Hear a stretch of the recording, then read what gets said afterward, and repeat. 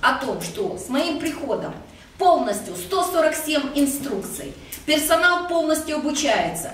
Мы разгружали э, любые вещества, сейчас спецодежду, вот председатель комиссии по спецодежде, каждая спецодежда рассматривается. Я лично 96 масок помыла сама, для того, чтобы убедиться, что каждый работник их оденет и талька не разотрет лицо.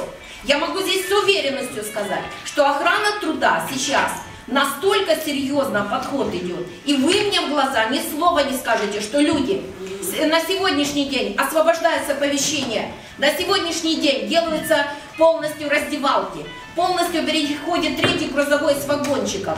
У нас охрана труда сегодня. Ни один человек из работников не пожалуется на то, что ему не уделено внимания. Спецпитание выдавалось людям? Не выдавалось. Лично сама прослеживаю, лично сама выдаю каждому молоко.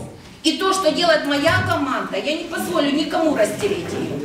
Потому что сегодня подход к людям, которые работают в тяжелых условиях труда, идет очень серьезно.